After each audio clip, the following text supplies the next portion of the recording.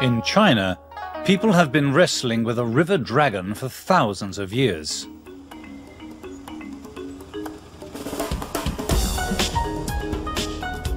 The Yangtze. Turbid. Tempestuous. Legendary. Of all China's great rivers, it is the Yangtze that best symbolizes the history of a people blessed and cursed by the power of flowing waters.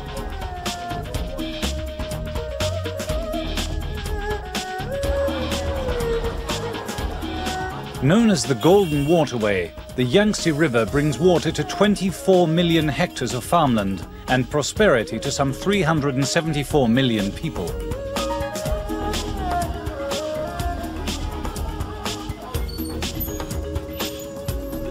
For over 4,000 years, the emperors of China's Middle Kingdom made control of the Yangtze their chief preoccupation.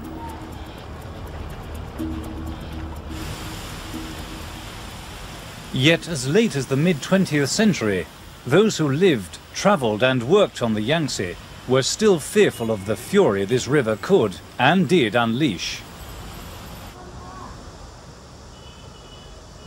In 1954, one Yangtze flood left 30,000 people dead and 1 million homeless.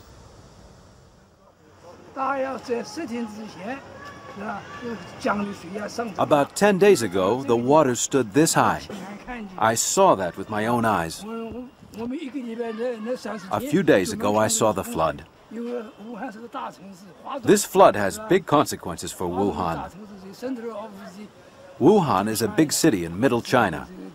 A lot of lives and millions of capital have been lost, caused by the flood.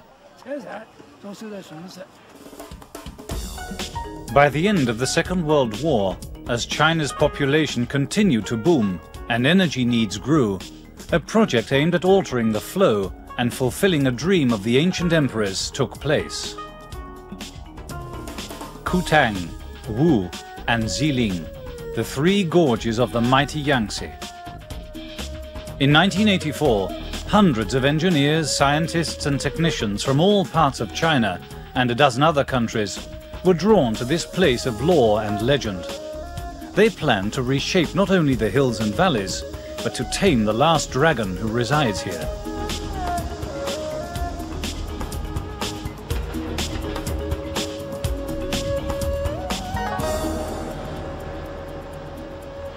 Today, men move like ants across a massive mechanized structure, a structure that will soon constitute the world's most powerful dam.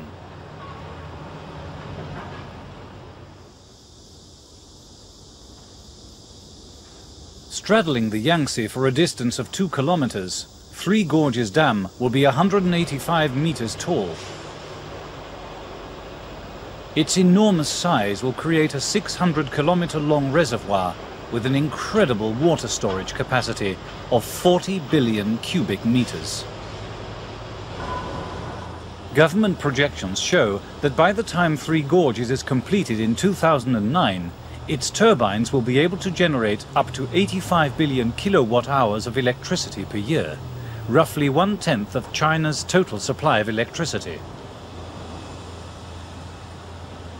Officials also point to Three Gorges' engineered ability to protect over 15 million people and 1.6 million hectares of land along the Yangtze from devastating floods.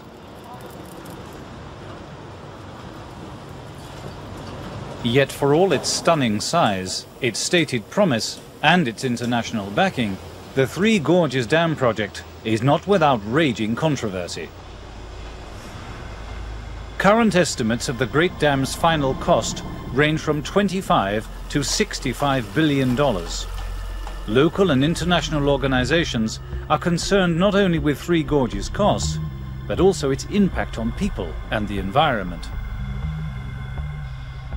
In the race to completion, Three Gorges Dam will submerge tens of thousands of hectares from both farmland and forest, 160 towns, 1,500 factories, and hundreds of archaeological sites.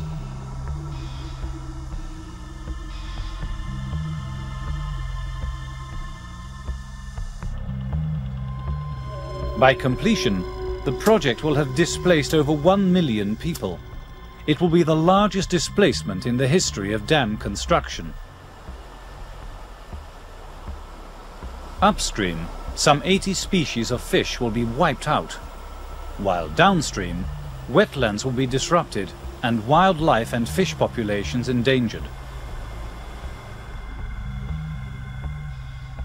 Most ominous of all is the threat of catastrophic collapse. It is not an idle threat. In 1975, both the Banqiao and the Shimantan dams failed, sending a surge of water downstream that killed over 200,000 people. It was a disaster that only became public years later.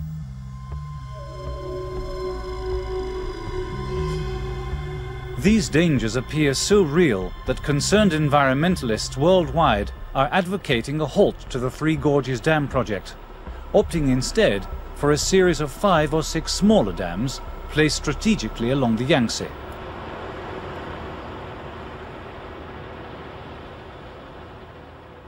Such an alternative might avoid massive resettlement of people and provide a better match for energy needs with local areas of supply. But despite alternative plans, despite growing uncertainty and opposition, construction continues on China's most ambitious project since the Great Wall.